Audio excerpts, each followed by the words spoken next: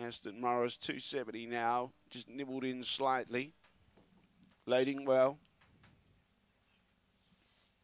Odds are being placed away.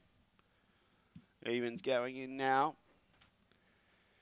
Uh, vacant boxes in six and seven. So Rochester Star, the late man is going to get plenty of racing room out wide. Green light on, no more bets, thank you. We're set to go race nine at Mount Gambier away. Aston Morris began fair, being crowded there by what a moment, but in the meantime, speed out wide. Ming Men Shen got to the lead, going with it anti-dentite and Rochester Star. About five lengths to Aston Morris, In behind those practice run, and at the tail was what a moment. Ming Men Shen trying to hold on, anti-dentite going for the inside run. Anti-dentite shot through, got it. Anti-dentite first, second Rochester Star in front of Ming Men Shen. Aston Morris late, but never looked a winning chance in practice run.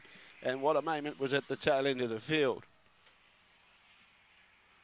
Anti-dentite uh, being a little bit too strong over the concluding stages, running down Ming Men Shen, who jumped well, but then the inside run came through for Rochester Star, 23-18, good run, 23-1-8, track in good order.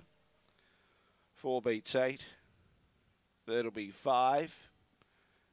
And number two, Aston Morris should be there for fourth. It's four, eight, five, and two. Those numbers are there now. Four, eight, five, two. Four, eight, five, two. Twenty-three.